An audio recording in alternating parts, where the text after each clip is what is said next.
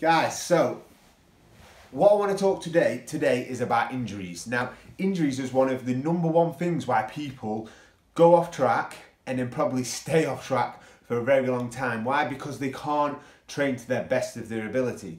Now, there's a lot of things that we can do with avoiding injuries. So when we're training, when we're exercising, we can make sure that we feel flexible in exercises and we can make sure that we're not going too intense and we're making sure that our joints are very stable in what we're doing so we're paying attention to what we're doing every second. Every single rep or every single activity you're doing you're paying attention to it okay? That is a one way but it's inevitably sometimes you're going to get injured. Now what we have to do is we have to look at this from a positive mindset okay we can get all grumpy and we can get all like, oh, it's in my head. And don't get me wrong, I've done that many times. But I've learned from my mistakes and I've learned that you can work around injuries and then you need to do what you need to do to prevent them from ever happening again. So, let's say that you hurt your you hurt your knee. Okay. Now I've had um, I've hurt my knee before because originally I damaged my ligaments, which caused my calf to tighten up and I ignored it, carried on squatting, and then I started to get really, really horrendous knee pain. Okay, now what I have to do is I make, need to make sure on a regular basis that I do stretch my calf out, and if I feel it getting tighter, I can feel the, the muscles around my joint, and I can basically make sure that I foam more regular and I stretch regular. Okay, and I'm very cautious of that when I'm training. That's what you can do things. That's what you can do to prevent it. But while you are actually injured, the mindset with training it's very, very simple, okay? You have got probably 45 minutes three times a week to exercise.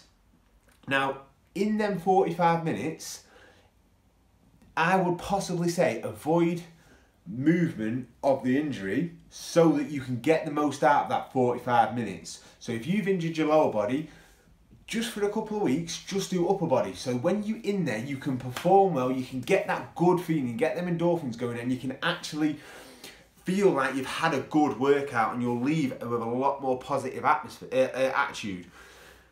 But what you cannot do is not move that injury and not basically keep that injury and hopefully it'll get better because it won't. If you don't move something, you don't keep something mobile, it is one way to basically knacker up your injury. All I'm saying is avoid doing it in the sessions.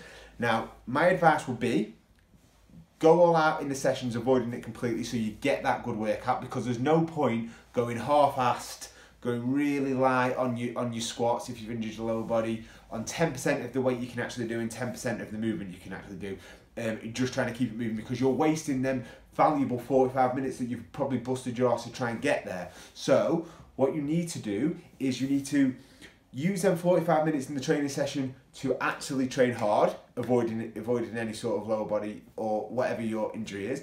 And then you need to basically set aside 15 minutes most days at home to do if you've got an injury and you want to keep it moving, do your flexibility work, do your movement work, do some light squats so you actually keep it moving, do some light lunges, keep doing the stuff that you probably would have done half-assed in the sessions, in any training session that you do, then do it at home so you can actually keep it moving. And that is one way so you're still getting a good positive session in during the week.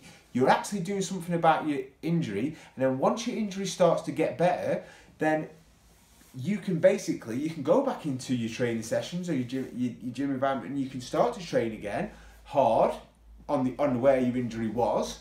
But guess what you don't stop doing? You don't stop doing that little weekly routine that prevention so you don't ever get injured again now, if we do stop doing that, then there's a chance that it could come back again. So we need to make sure that we're going across the board. Now, I don't mean spending hours and hours at home doing it. I just mean 10 minutes, 10 minutes every day. Get into a little routine before you get up in the morning.